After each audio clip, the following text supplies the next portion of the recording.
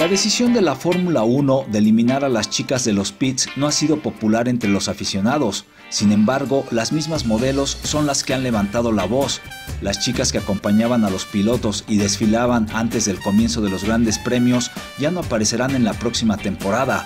La modelo británica Chantal George calificó como un error la decisión de los nuevos propietarios de la Fórmula 1 tras señalar que no se trata de una situación sexista, pues es un trabajo donde las jornadas pueden alcanzar hasta las 11 horas. Nunca me sentí sexualizada, nadie fue inapropiado y mucho menos me sentí explotada.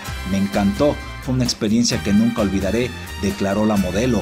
Por el mismo tenor se pronunció Marga Nernalte, Miss Barcelona 2014 y quien tiene una vasta experiencia como chica de pits. Existe mucha hipocresía, pues hay más machismo en algunos videos que ven millones de personas, declaró. La modelo pide que se tenga una mentalidad más abierta y que se repiense la medida, ya que asegura echar a las chicas de los pits es una medida de lo más machista.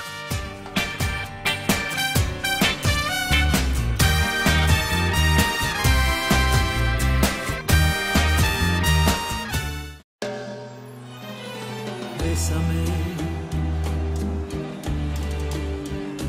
bésame mucho.